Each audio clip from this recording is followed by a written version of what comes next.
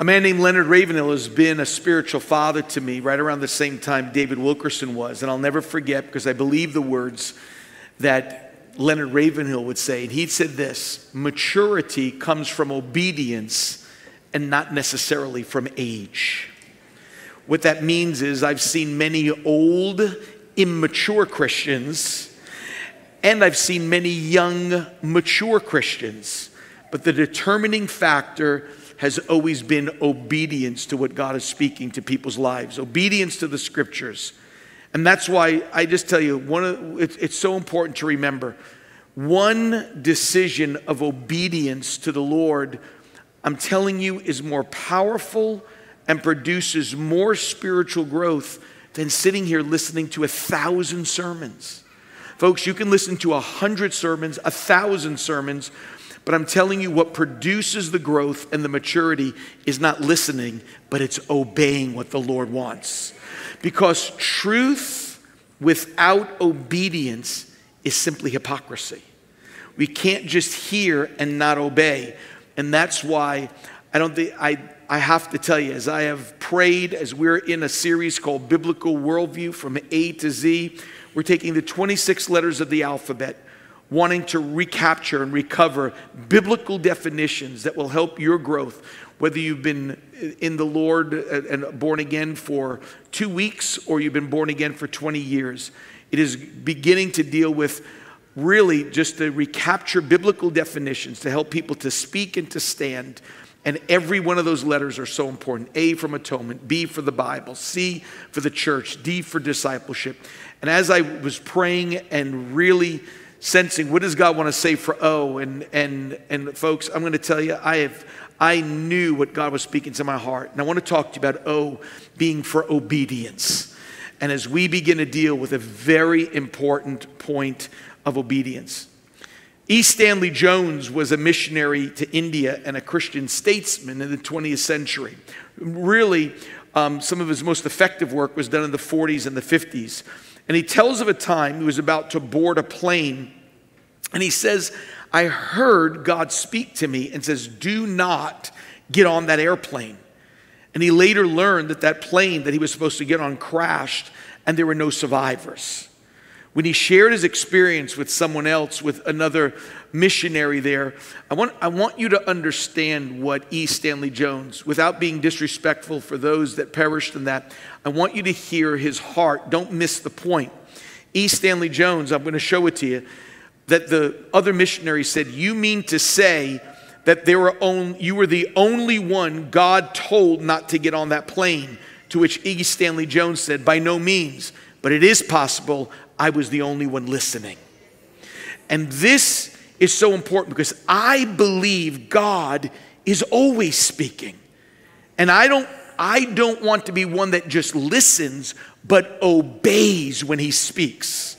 Now, God speaks, make sure you understand this. God is always speaking through his word. He is speaking through his servants. He is speaking through providence. That will be things that may be happening that God begins to formulate and put together. His acts, he will, he will begin to speak through His Holy Spirit. And so many times I know I have missed hearing God's voice because I've not been paying attention or I've been distracted. It's amazing to me that the word obedience that we're dealing with today comes from a Latin word which actually means to give great attentiveness to. It is the to hear and to, uh, to, to focus on what is being said. But this is what's also interesting. The Latin word for deaf, not hearing, it means the Latin word we get is the word absurd or absurdus, which means, which is so important, which says when we're no longer listening and obeying, it literally can be absurd for us and what the future is. See, when God is speaking, we know that there's really two options when God is speaking. You're faced with two choices. Here it is obedience or disobedience. That's, that's really what's before us. That, that when you're not obedient, it is disobedience. And that's why when I think about a, a great woman of God that, is, that, that um, spoke for us even in Detroit from Youth with a Mission, gone to be with the Lord just a few years ago, was a woman named Joy Dawson. And this is what she said. She says, When you choose disobedience, she said, disobeying Him, God, is the same as telling Him to hold back all of the blessings that come with obedience. And then she said, That's not only stupidity, that's insanity. That when you realize all that God wants to do from saying yes, the choir sang that first song, and, I, and it just resonates with me when they started shouting out, Yes, Lord, for the rest of my days. I want that to be my heart cry. See, when God's grace changes our status from rebel to the redeemed, I believe we are empowered to obey God through the Holy Spirit. We're empowered by His Spirit to say yes. It's not what we do from willpower, it's what we do from God's power within us. And folks, let's just be honest. Obedient obedience can be inconvenient. Sometimes obedience can be lonely. And even obedience can be difficult, but here's the good news. Obedience always gets the attention of God and gets the attention of heaven. God Listen, whoever you may be, it may be simply being obedient to praying over your meal, saying grace over your meal while you're in a school cafeteria. You could be here as an athlete from high school to college to, to professional sports, and it may be God giving you a boldness to speak up in a locker room to, to fellow athletes on, on a strong conviction or a biblical issue. It may be if you're working in a company, choosing not to lie about numbers that a supervisor is asking you to do, and it's an issue for you of integrity. I love what the writer A.W. Tozer said when he said, The true follower of Christ will not ask if I embrace this truth, what will it cost me? Rather, he'll say, This is truth. God help me to walk in it no matter what comes my way. And that's why this is so important. Folks, let me just tell you, as I was preparing this, I kept thinking to myself, this phrase kept hitting me that the greatest gift I can give to my family, to my wife and four children, is obedience, an obedient life to God. It is the greatest blessing that any one of us can, mothers and fathers, is to listen to, oh God, and obey. Because my obedience, your obedience, has generational effect. It lives beyond you. Listen to what Moses says in Deuteronomy 12 28. Moses says these words. He says, Be careful to listen to all these words which I command you, so that it may be well with you and your sons after you forever. For you will be doing what is good and right in the sight of the Lord your God. When I obey God, it doesn't just go well with me, it goes well with my son and my three daughters. It goes well far into the future. That's why, listen, obedience to God has long lasting effect, and disobedience has long lasting effects. And that's why this is such a key part. Now, here's what I want to build it on for just a moment. Listen to an important question connected to obedience. Here it comes. How do I know if I love Jesus? This is such an important question as we begin to look at obedience. John 14, 15, this is what Jesus says. If any, this is, he says these words If you love me, obey my commands. It's an obedience issue. Love and obedience are the two things that go together. But the danger is when we know his commands and somehow we want to find ourselves editing them to our liking, to our taste, and even to our culture. It's rewriting, revising, even modifying. Now, I want you to get this down because this is the best definition I can give you of obedience. Obedience is doing God's will, God's way, in God's timing. That's what obedience is. It's doing God's will, God's way and God's timing. Or to, to say it another way, obedience is doing what God says, when God says it, and how God says it. What God says, when God says it, and how God says it. Now, 1 Samuel 15 has one of the greatest verses on obedience and how God sees it greater than even worship. Now, here it comes. Don't miss this. The Bible does not say, if you love me, you'll worship me. It says, if you love me, you'll obey me. That's what it says. Jesus says, if you love me, you'll obey what I speak to you. And I would think that this moment today that you were lifting your hands and singing the songs that that was the key of saying that's how much we love you god. And, and we are told by jesus the son of god that the very key to understanding whether we love god or not is us responding not with religious things not with even worship not even offering worship. It's by doing what god asks us to do.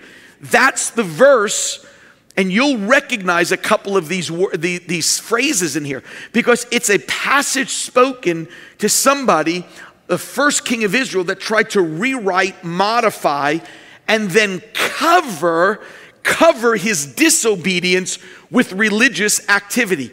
Listen to these words, which is the response to somebody who didn't do it God's way. 1 Samuel 15 22, Samuel the prophet says, Has the Lord God have a delight in burnt offerings and sacrifices as in obeying the voice of the Lord. He's saying this Do you think that God would rather have you worship or, or obey Him? He says, you, You've missed the point. And then these famous words to obey is better than sacrifice. You could put worship in there. You could put um, volunteering in there, giving in there, anything you want to put in there. And we are told that to obey is better than any sacrifice we can make, and to heed than the fat of rams. He's talking about Old Testament sacrifices. And then these powerful words, which is on the other side of obedience, which is disobedience. And I want, to, want you to see how poignant this is. For rebellion is as the sin of witchcraft, and stubbornness is as iniquity and idolatry, because you have rejected the word of the Lord. He has also rejected you from being king. See, verse 22 says God would rather have you obey than to do religious stuff with enormous passion. And verse 23 is the kind of the slap in the face to bring us to reality, to understand why this is so important. And he uses five words to describe disobedience. Five words, listen to them. He says, Disobedience is like rebellion, witchcraft, stubbornness, iniquity, and idolatry. Folks, this is so dangerous that when we know what God is saying, and not doing it God's way when God says it, how God says it, and and what and, and understanding what He's asking us to do. And 1 Samuel 15 is the story of the first king of Israel, how a king forfeited his future and anointing, don't miss this, through disobedience, yet kept his position as a king. Let me say those words again. 1 Samuel 15 is how King Saul's disobedience forfeited his future anointing, and yet God kept him in his position. Don't miss this now. You need to get this. God is the only employer that will fire you and let you keep your job.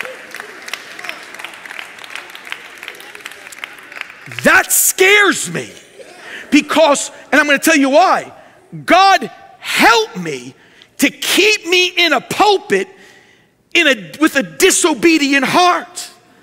God help me to stand in front of a microphone and sing or play or sing in a choir or volunteer. And God goes, You can keep your job, but there won't be any anointing, no freshness, and no touch from God. Folks, I'm just telling you, that frightens me.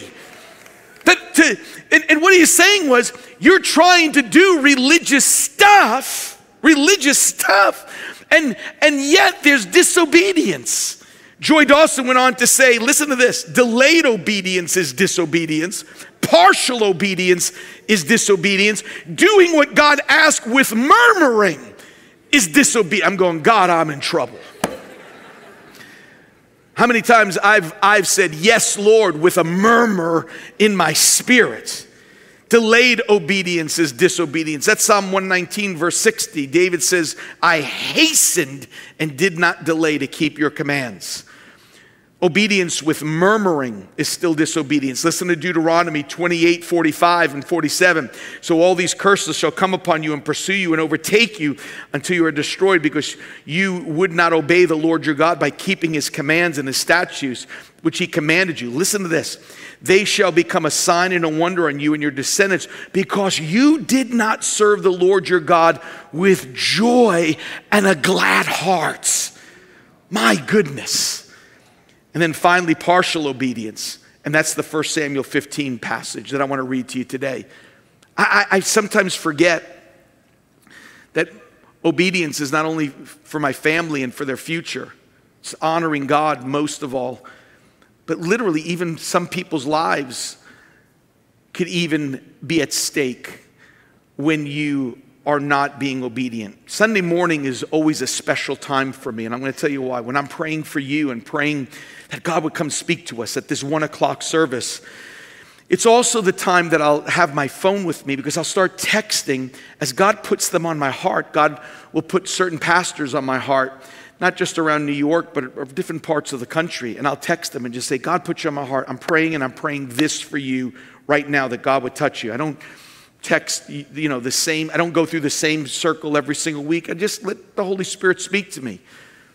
And two weeks ago, I talked to a pastor who said, I have to tell you and say thank you for listening to the Holy Spirit. I said, What are you talking about?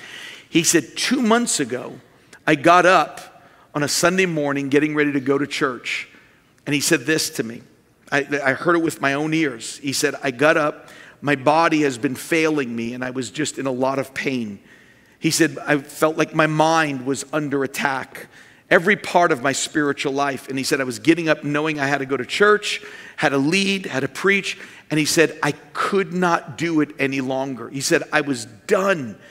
And this is what he told me. He said, I said to the Lord, I'm finished. It was almost like an Elijah prayer. He said, Take my life. He's praying this on Sunday morning before going to church. And I said, I understand that kind of prayer.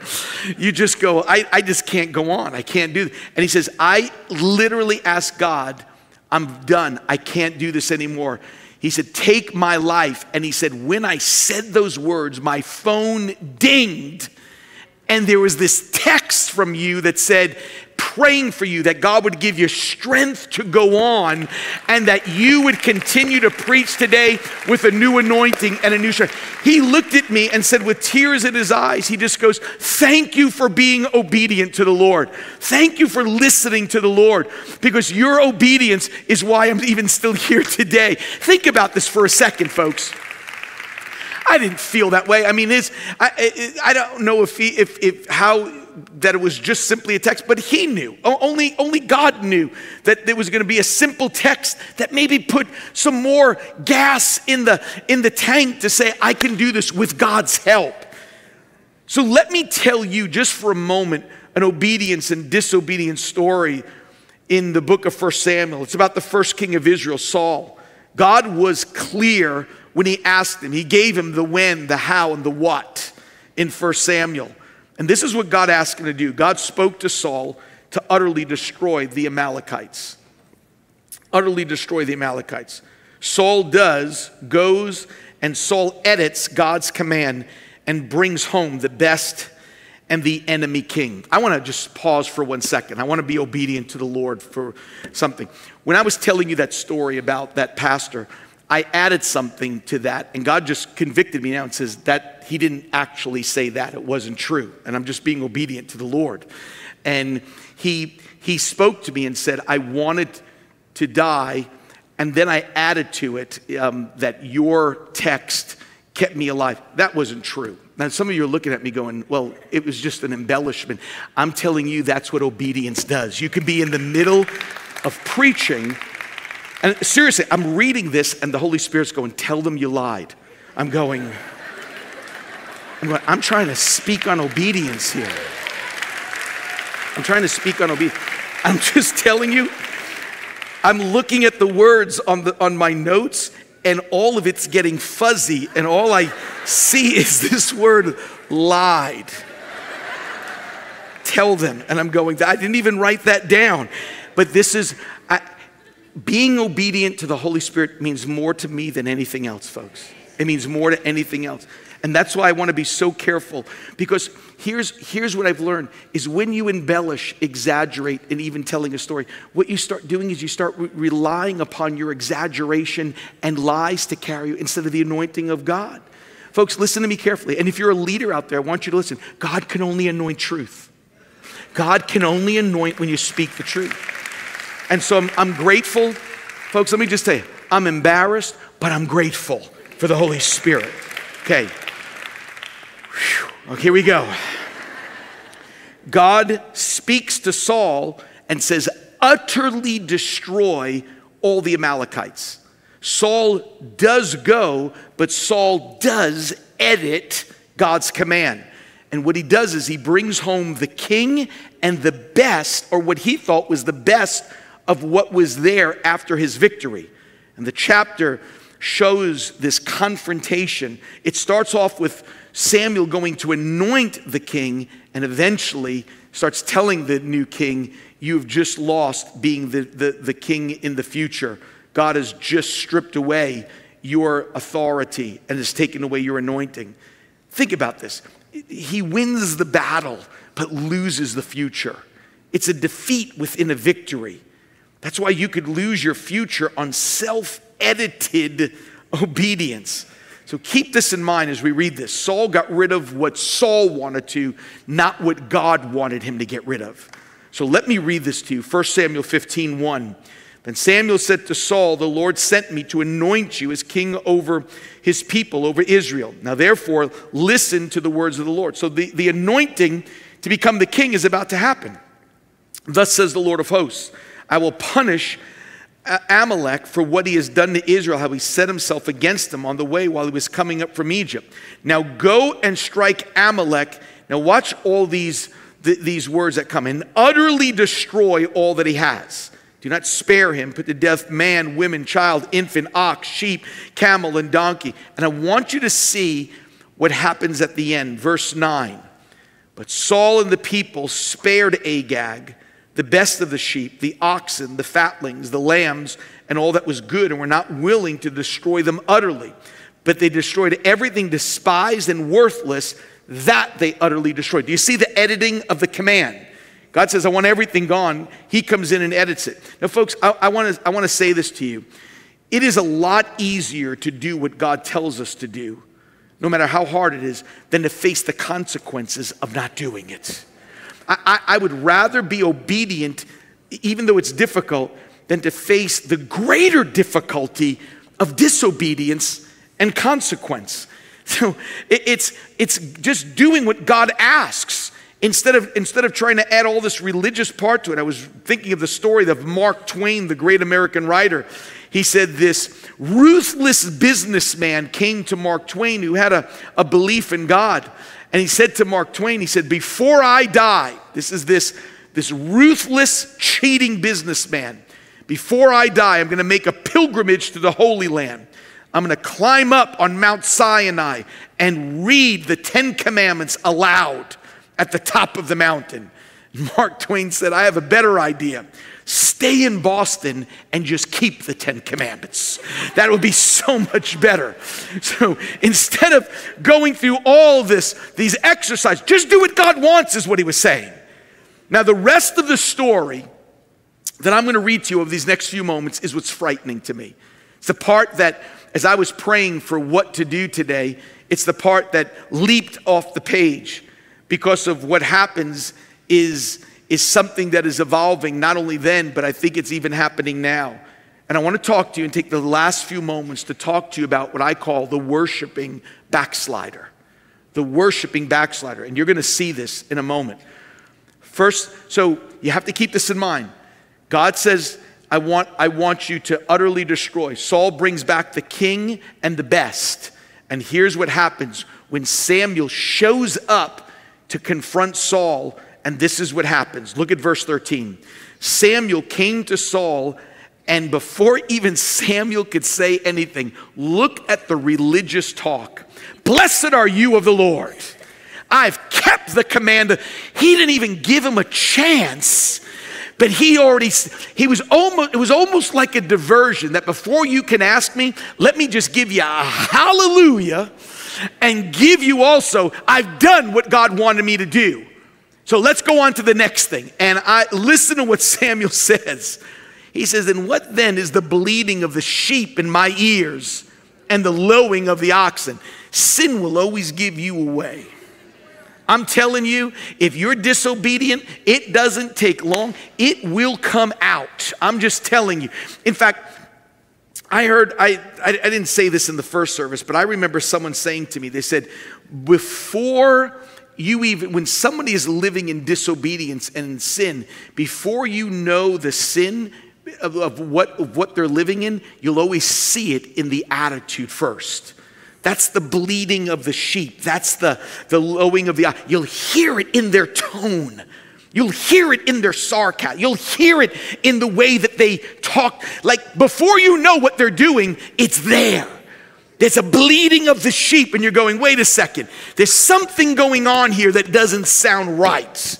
Saul said, They have brought them, the, he answers Samuel and says, They brought them from the Amalekites, for the people spared the best of the sheep and oxen to sacrifice to the Lord your God, but the rest we have utterly destroyed. And, and now he's trying to cover it over. He says, we, we spared that so we can offer them to Jesus. That's why we're doing this. Let me just say this before I read Samuel's response to this, this, this insanity, this insane response of Saul.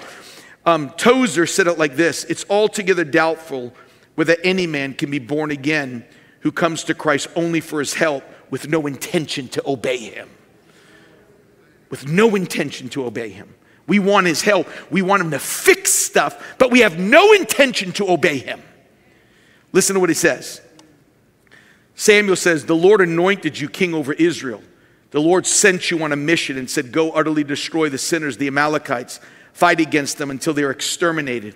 Why then did you not obey the voice of the Lord, but rushed upon the spoil and did what was evil in the sight of the Lord? Now, folks, here it comes. Then Saul said to Samuel, I did obey the voice of the Lord. This is the deception. And went on a mission which the Lord sent me. And I brought back Agag. God never said that. The king of Amalek. And I've utterly destroyed the Amalekites. Wasn't true. But the people took some of the spoil, sheep and oxen, the choicest of the thing devoted to the destruction. Now he's blaming it on the people. He's the one in charge. So they can sacrifice it to the Lord your God at Gilgal. And then the famous words Samuel said, As the Lord has much delight in those burnt offerings and sacrifices as in obeying the voice. So you're offering something that God said, I, I don't want this part of your offering. I don't want this in your religious services. I don't want this in your worship. Behold, to obey is better than sacrifice, and to heed than the fat of rams. And then he says for the rebellion is as a sin of divination or witchcraft. Insubordination is as iniquity and idolatry because you've rejected, look at this, because you have rejected the word of the Lord, God has rejected you from being king. Now, folks, I want you to get this. This must have frightened Saul because the next words out of his mouth Look, look, at it in verse 24. Then Saul said to Samuel, when he heard these words, What are the next three words? I have sinned. Now, folks, which makes me think he was lying earlier. Because he, it just, he realized his I, see, his I have sinned is connected to you can't be king anymore.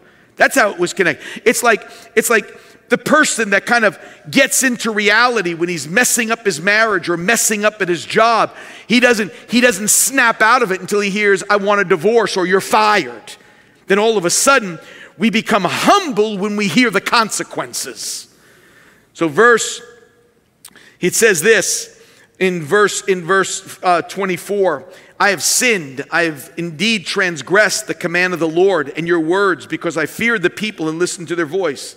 Now, therefore, listen to what, how he says it now. He's going to kind of prescribe what he's supposed to do. Please pardon my sin and return with me, here it comes, that I may worship the Lord. But Samuel said to Saul, I will not return with you. You've rejected the word of the Lord, and the Lord has rejected you from being king over Israel. And as Samuel turned to go, Saul seized the edge of his robe and tore it. So Samuel said to him, The Lord has torn the kingdom of Israel from you today and has given it to your neighbor who is better than you. Also, the glory of Israel will not lie or change his mind, for he is not a man that he should change his mind. Then he said, Here it comes again I've sinned. And then, folks, this is where it just gets dark. This is what he says I've sinned, but honor me before the elders and the people and before Israel. It's like, let, let this keep this between us and go back with me that I may worship the Lord your God. Let me just continue on with the stuff that I brought and do my worship thing. And sad words, Samuel went back from following Saul. What does Saul do? Worship the Lord. Pardon my sin, he says, but come with me that I may worship the Lord. Now, folks, this is the origin. I, I, I truly believe this with my heart. This is the origin of a dangerous practice in, in the church and in Christianity today. This worshiping backside. Let me define this. Get this. This is so important. I felt this strongly by the Holy Spirit. The worshiping backslider is the Christian that can worship with an intensity while living in blatant disobedience. Let me say that again. The worshiping backslider can lift the hands with this intensity, with, with, with, lift up their hands with a passion, worship the Lord, sing every worship song in a service, but will live in blatant disobedience. Folks, I'm telling you, it's happening. It's happening on stages and preachers and leaders and believers. And here is the false theology of it. Don't miss this. The false theology is that my worship is my repentance. That if I'm living in disobedience, I cover it by my worship of God. That you could be up here, whether singing or preaching. You could be watching today and, and leading something, leading a ministry, leading a church, and think that I cover it by simply doing something passionate. Folks, the only thing that covers sin is the blood of Jesus Christ. It's the only thing that can cover our sin. Now, pause for a moment here. What is backsliding? Let me just say this because backsliding is the easiest thing to do because you do nothing. That's how it starts. It's not a it's not a blowout, it's a slow leak. Think of it. Samson was asleep when he lost his strength. So it's Jerry Vines, one of the great Florida Baptist preachers from the 60s. I was reading what he said. He said these words challenged me. He says, "Are you backslidden now? It says, I'm going to help you answer the question. A backslidden Christian is any Christian who is not as close to Jesus as he used to be. Then he says, Was there ever a time in your life when you were more consecrated to the Lord than you are now? Was there ever a period in your life when you felt the presence of God more than you feel now? Was there ever a moment in your life when your love for Jesus Christ was more real than it is this very minute? And if so, you need a revival. I need a revival. We need a revival. Because here's the question when you're sitting in a service, when you're taking communion, is there this heart inside of you to protect the fire and the freshness of the Holy Spirit? Let me tell you what I mean. When was the last time you were lifting your hands in worship or or, or sitting in an uh, sitting watching, whether you're watching from home around the world, and felt God said, Stop. You need to make this right before you continue on. Some of you may be looking at me going, Pastor Tim, that's a little much. But Jesus said, This will happen to his listening disciples. Listen to the listen to the to the the um, the Sermon on the Mount. Jesus said this right after the Beatitudes. He says, "Therefore, if you're offering a gift at the altar and remember that your brother or sister has something against you, this is what he says: stop worshiping." Leave your gift there in front of the altar. Go be reconciled, then come back and get this right. But what he was basically telling us the worst thing to do is to find yourself getting in the habit that you can worship through disobedience. to worship through. He says this a dangerous thing that can happen to any one of us. See, in today's language, it would read something like this that while you're sitting here in a service and while you're singing, All my life you have been faithful, the Holy Spirit comes and says, Wait a second, I'm faithful, but right now you're not. You're lifting up your hands, but you're sleeping with your girlfriend. You're lifting your hands, but you're speaking evil of this person. You're singing loud, but you're robbing me in tithes and offerings. Put your hands down. Let's get it right. Pick it up and then come back and let's worship with clean hands and a pure heart. Folks, while, I mean, it, while I was while we were in communion, it was it was just some time ago. Uh, we were in communion, and before I could even open up those silly cups, and and and we do that for COVID and for protection. I get it.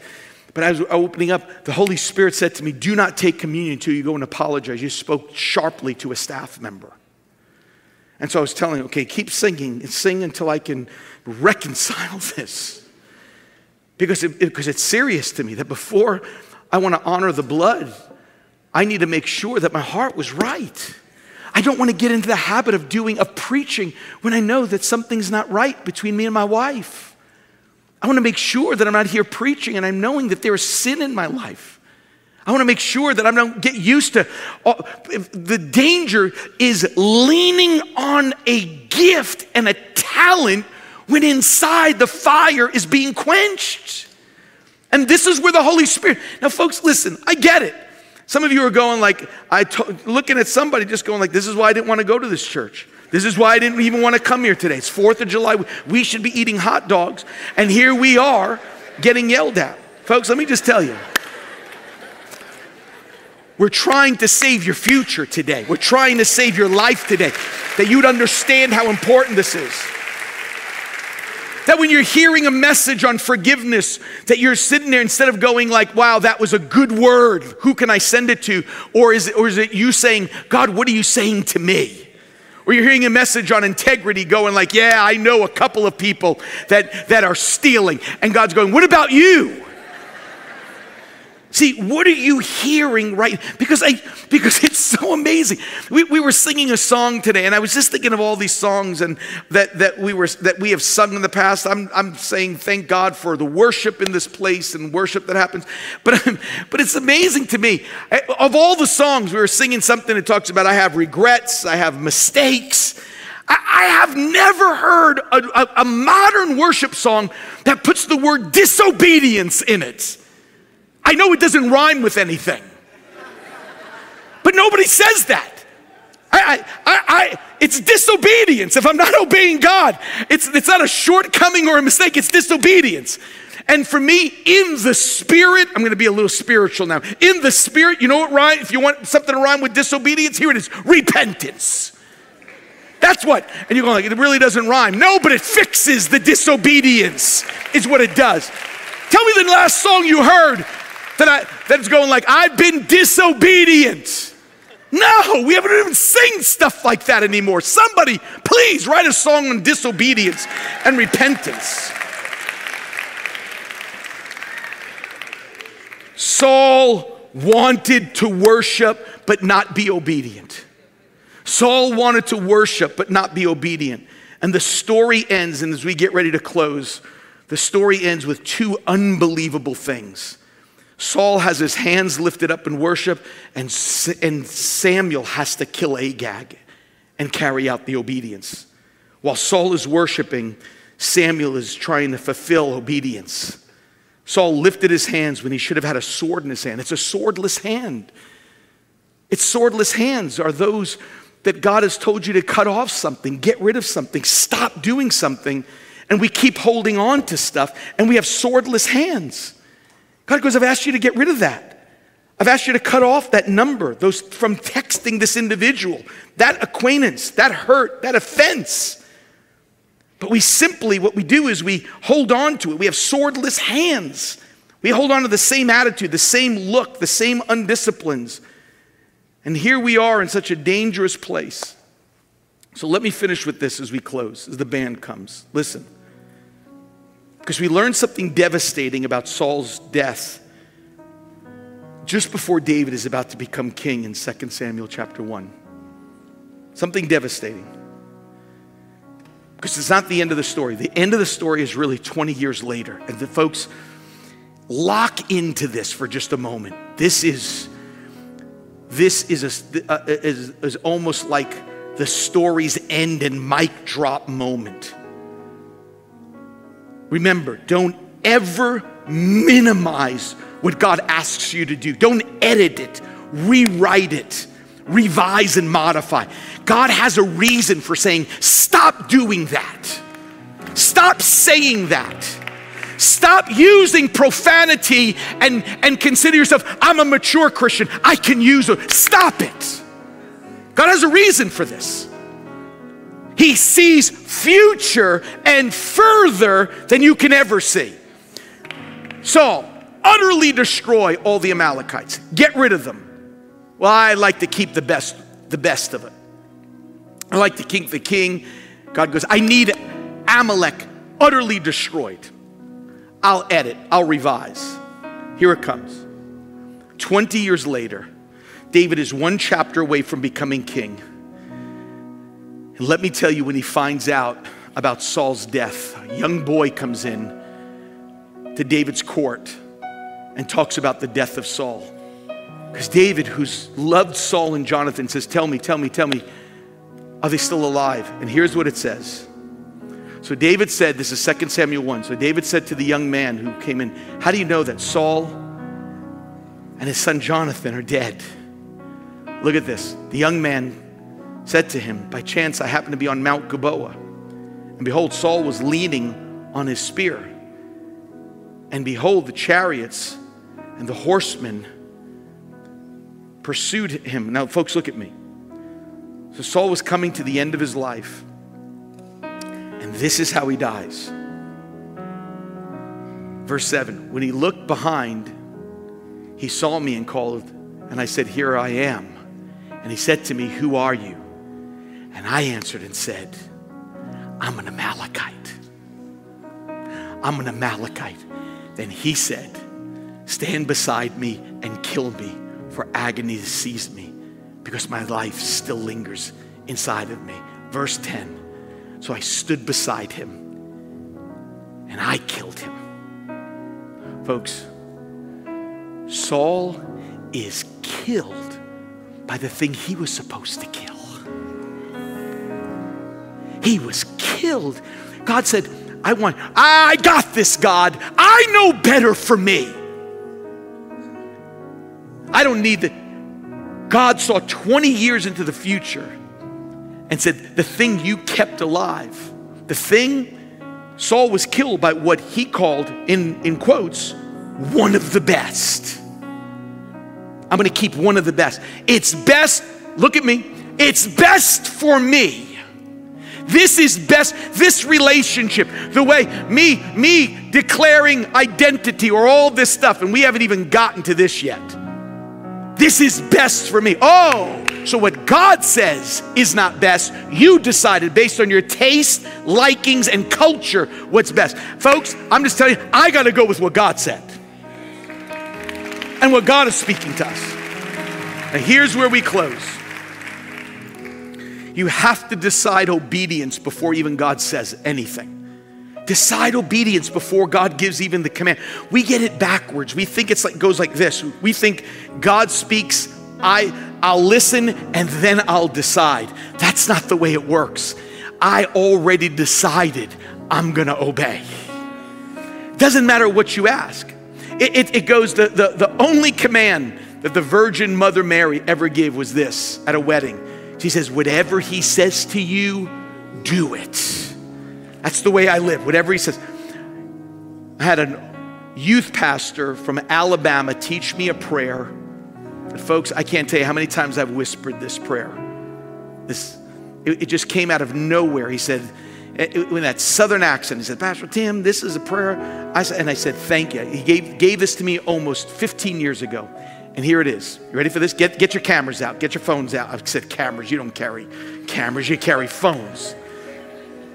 Here it comes. I'm going to teach you a prayer. It goes like this God, the answer is yes, even before you ask. The answer is yes, even before you ask. Come on, whisper that to him right now. God, the answer is yes, even before you ask. Even before you ask. Peter Marshall was considered to be one of the great chaplains of the United States Senate. He was pastor of the New York Avenue Presbyterian Church in Washington, D.C. His, his prayer life and his witnessing literally brought stirrings of the Holy Spirit to Congress when he was there. And I was reading his biography, and he says he was trying to avoid ministry and go into the Navy. He heard God calling, but literally disobedient, just disobedient. He said, knowing God called him to ministry, he was going to the recruiter's office for the Navy. He said he failed the test, so despondent. And on a rainy, foggy day, he was walking home from the recruiter's office. And Peter Marshall tells the story as he's walking through the woods, taking a shortcut back to his house or to where his parents lived that he's never been before. He's walking through it, could barely see ahead of him. He said he heard a voice, his name was called. And this is what he heard. He said, when he heard his name, he said, I heard Peter. And he stopped and I said, Who is that? Then he just kept walking, heard it again, Peter. And he goes, Who's calling me? And finally, the third time, he heard his name and he knew it was God calling him. And Peter Marshall said this He said, I stopped and knelt on that third call and said, Yes, Lord. I'll do whatever you want me to do. I won't go in the Navy, whatever you want me. And God called him to the ministry. You're going to pastor and you're going to bring revival to Congress. You're going to bring a, a, work of God. And Peter Marshall wrote, he said, when he tried to get up, he pushed his hand down and nothing was there. He said he pushed this. He realized this. When he knelt and was pushing to get up, he knelt at the foot of a precipice of a rock quarry that he said, if I would have taken one more step, I would have plummeted to my death if I didn't listen to God. He said, when I knelt right here and when I pushed to get up, there was nothing. And I knew when I said yes to God, He just rescued my future. He just rescued my future. Stand with me. Stand with me. Here's the challenge I feel so strongly about this, folks, so strongly, that before we take any other step right now, before we do anything, balcony, main floor, I want you to listen. Those that are watching online, this is a moment that God is saying, before we offer any worship, God is speaking to your heart right now and saying, I've got to get this right with God. There's an area, I've been swordless, and God is asking, don't don't take another step without saying, Yes, Lord. God, I want you to deal with this area. How many sense right now that God is speaking to them about an area of your life? Go and deal with that, deal with that, deal. Hold it up high. Hold your hands up high. If that's you, here's what I'm going to ask you balcony, main floor. As we sing this song, if God is speaking to you right now, I want you to get out of your seat and walk up here. We're going to say, God, this is going to be an altar of going, we trust you. We're giving this over. Come on. As we sing this, oh, come to the altar, balcony, main floor. Would you begin to make your way up here as we begin just to sing this together and believe for the Lord to do it? Come on, let's sing this and then we're going to come back and pray. The altar, the Father's arms are Come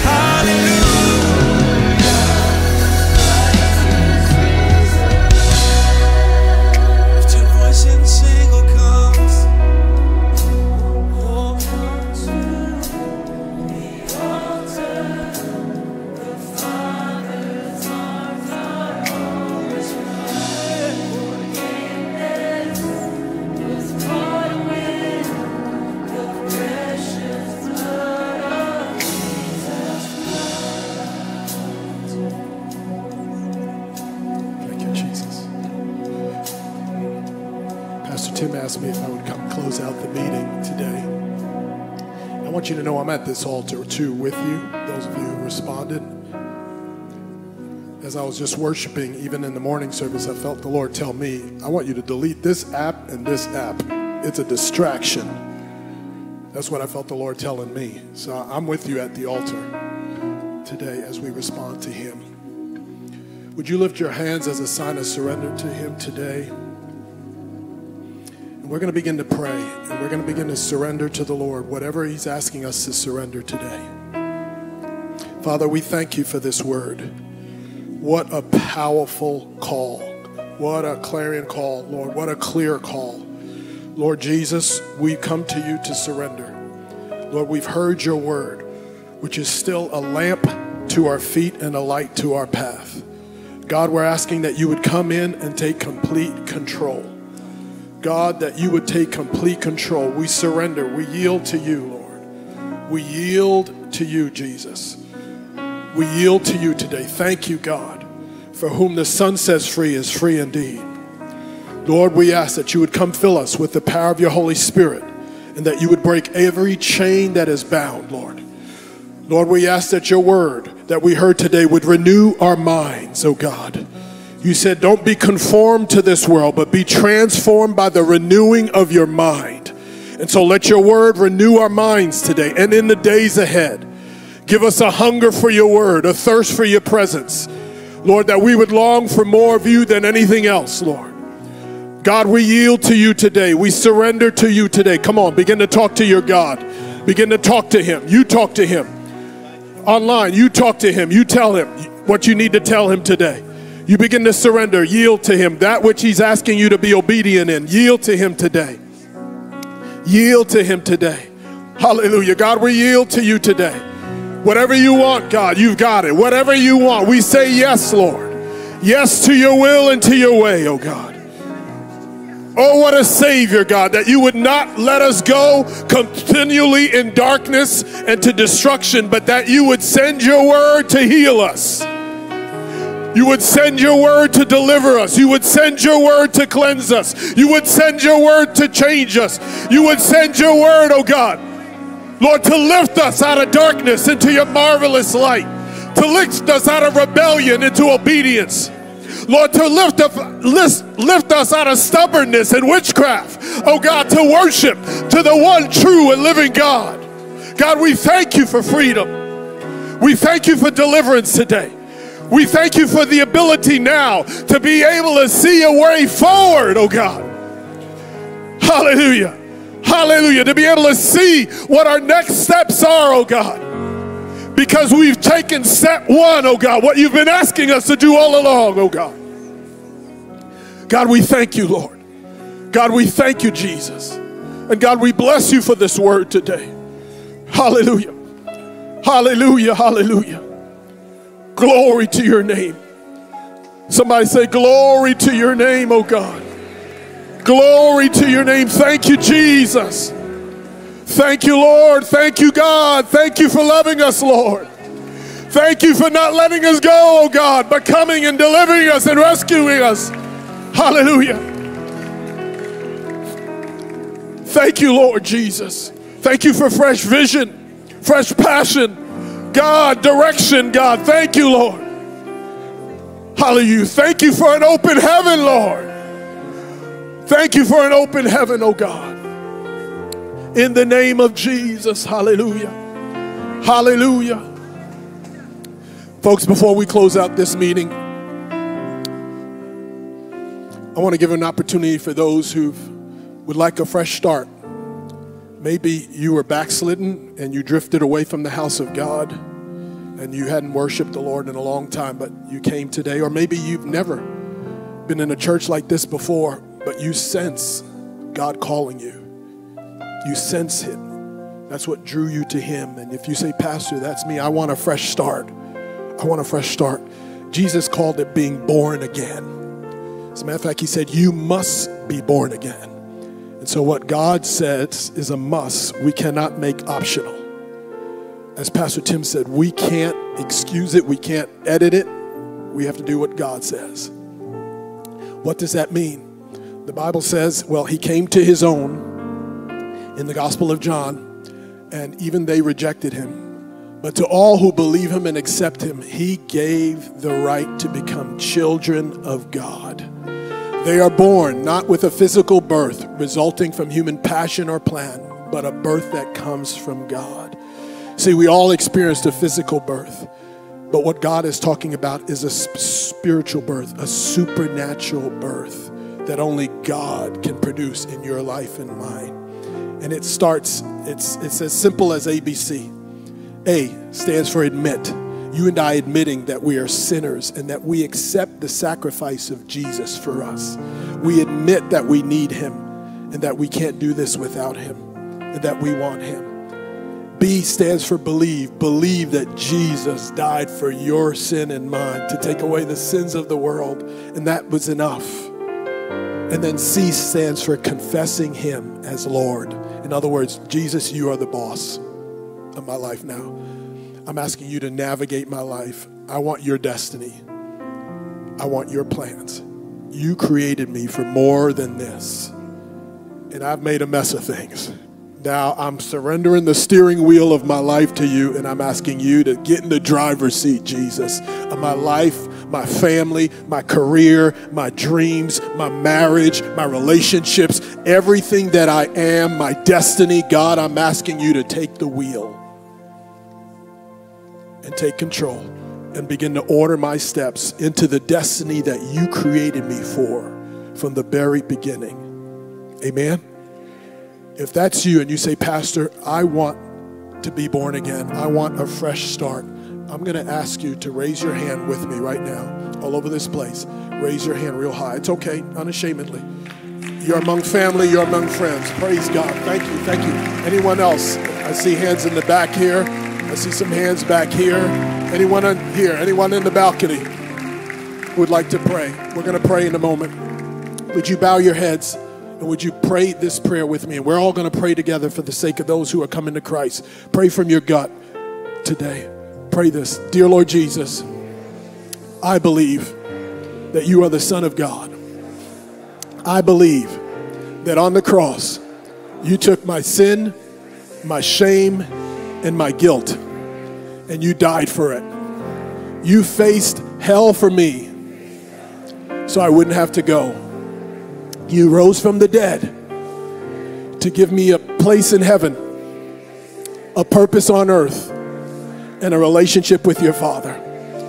Today, Lord Jesus, I turn from my sin to be born again. Now I declare with confidence that God is my Father, Jesus is my Savior, the Holy Spirit is my helper and heaven is now my home. In Jesus' name, amen and amen. Hallelujah.